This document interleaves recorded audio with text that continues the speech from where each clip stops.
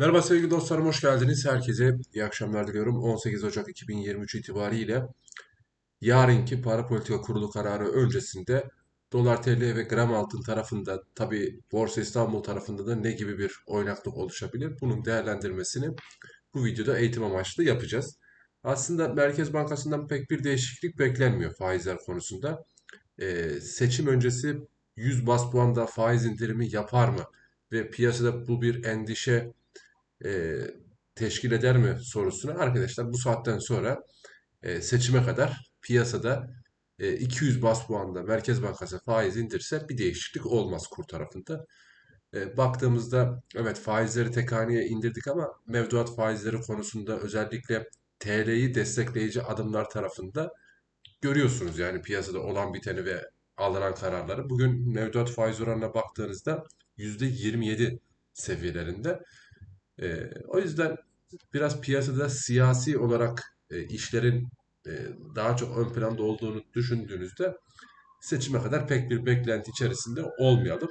Daha doğrusu seçim sonrasında da özellikle kur tarafına baktığımızda aman aman bir beklentiyle e, karşı karşıya kalacağımızı düşünmüyorum. Yani en babası gidebileceğimiz seviye bu seviyeden 30 lira rakamlarını ancak zorlarsa zorlar. O da müsaade edilirse.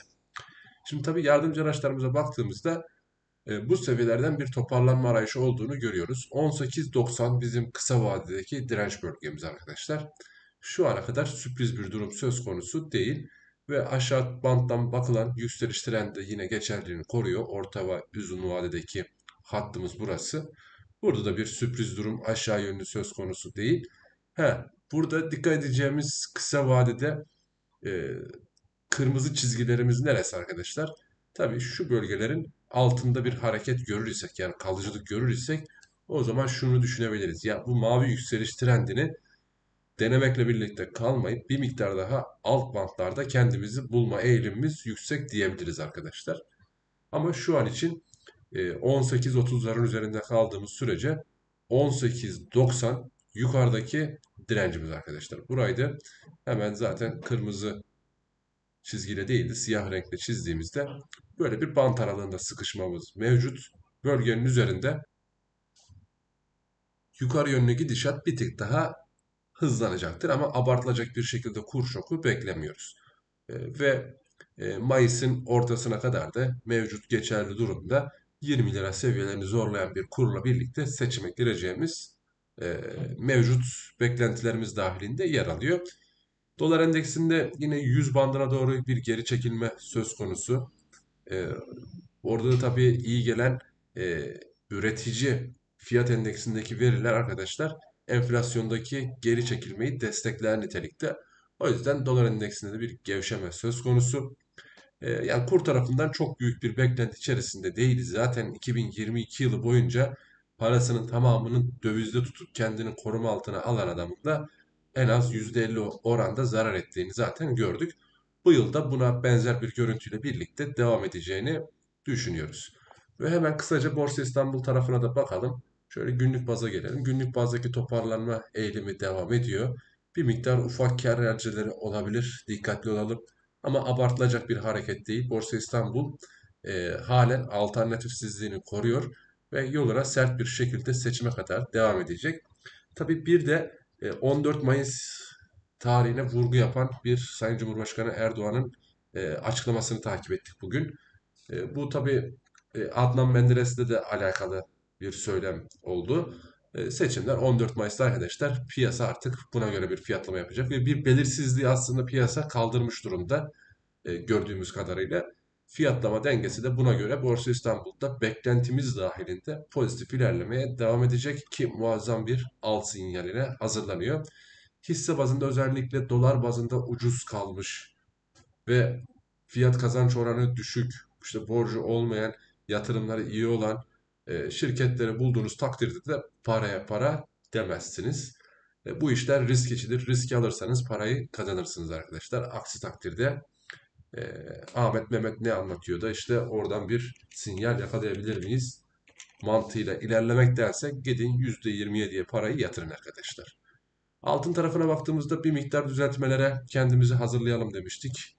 Ve dün yapmış olduğumuz analizde bugün de birlikte tepki yükselişinden sonra geri çekilme devam ediyor. Altında 2023 yılı beklentiler arkadaşlar çok üst seviyelerde. 2023 bir nevi altın yılı olacak deniliyor ve merkez bankaları altın topluyor söylemleri çok ön planda. Arkadaşlar merkez bankalarının altın toplamasındaki amaç sizin altın toplamanızda e, tabii ki benzer yanlar var ama enflasyonist koşullarda piyasaya enjekte edilen para karşılığında bir altın göstermek zorundalar. Yani bir karşılık göstermek zorundalar. En iyi karşılık da arkadaşlar altın olduğu için iyi bir koruma aracı. Ve tabii e, bunun haricinde de e, farklı enstrümanlarda yine e, devrede olabilir. Yalnız e, altın her zaman altındır. Bu değerini hiçbir zaman yitirmez. Ha, bizim tarafa baktığımızda yani yatırımcı olarak küçük ve orta ölçekteki yatırımcı olarak altında biz yukarı gidebilmek için arkadaşlar şu anda gücümüzün tıkandığını görüyoruz. Yani daha alt noktalardan daha güçlü alıcı gruplarının aranmasına bir ihtiyaç söz konusu. Dikkatli olalım. Aşağıda 1850'lere doğru ilk etapta bir geri çekilme. Bu seviyeye geldiğinde piyasa tekrardan bir e, alıcı kontrolünü yapacaktır burada. O yüzden şu an için geri çekilmeler konusunu zaten uyarmıştık. Dikkatlice takibimizi yapıyoruz. Göstergelerimizi zaten kendini arkadaşlar e, ele veriyor burada. Baktığımızda şuradaki yükseliş trendinin bozulmasıyla birlikte göstergede biz kendimizi koruma altına almak zorundayız. Çünkü satış baskısının derinleştiğini burada görebiliriz ve 1730'lara doğru da geri çekilme arkadaşlar hızlanabilir. Gram bazında da keza zaten inceleyecek olduğumuzda 1150 seviyesinin altına doğru iğnelenmeleri takip ediyoruz. Burada da zaten hem fiyat grafiğinde olsun hem göstergelerde olsun takip edeceğimiz destek hatlarını sizlerle birlikte paylaşmıştık. 1130'lar önemli arkadaşlar. Bölgenin altındaki bir kalıcılıkta stop olmanın önemini umarım anlayabiliyorsunuzdur. Ha şu an için baktığımızda sürpriz bir hareket yok. 1130'lara kadar geri çekilme kabul edilebilir. Ama 1130'un altındaki fiyat hareketliliğinde trendde artık bozulma başladı diyeceğiz kısa vade yükseliş trendinde. O yüzden şu bant aralığındaki alıcı grubunun test edilmesi arkadaşlar içtendir.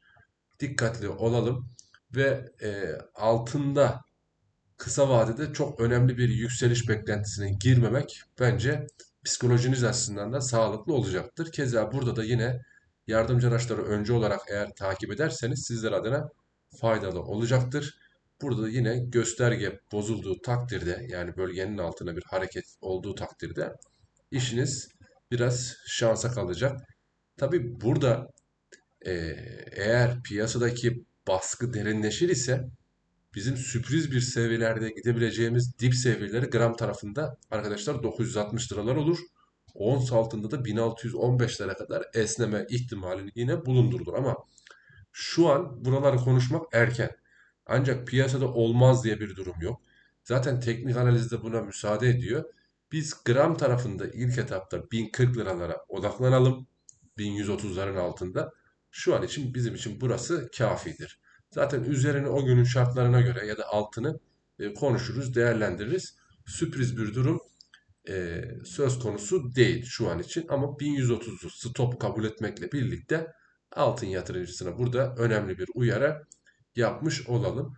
Ha, bu gibi dönemlerde işte Borsa İstanbul tarafındaki belirsizliğinde işte seçim tarihinin bir miktar daha netleşmesiyle birlikte diyelim artık hemen hemen belli. Sayın Cumhurbaşkanı Erdoğan bir kararnameyle birlikte erken seçim kararını verecek. Bunu meclise taşımayacak belli ki.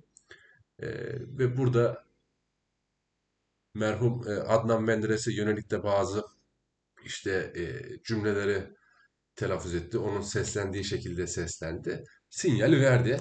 E, piyasada bir belirsizlik kalktığına göre yani Borsa İstanbul'un önündeki bir belirsizlik kalktığına göre burada döviz mi altın mı sorusunu bir kenara bırakıp bence burada e, borsa tarafında risk alınırsa seçime kadar daha güzel bir koruma aracı, daha güzel bir getiri potansiyelini yakalamış oluruz arkadaşlar. Yani matematiği eğer iyi kullanır iseniz ya da piyasayı iyi okur iseniz, piyasanın gıdasını, e, rakamların gıdasını daha doğrusu siyasetten aldığını eğer iyi bilirseniz bugün karşılaşmış olduğunuz Borsa İstanbul'un toparlanma görüntüsüyle birlikte birçok kişi de zaten e, neyin ne olduğunu anlamış durumda. Hepinize ben bol şans, bol kazanç diliyorum. Yarın çok sürpriz bir durum olmayacaktır diye düşünüyorum. Bakalım izleyip göreceğiz. Yarın görüşmek üzere. Allah'a emanet olun. Hoşça kalın.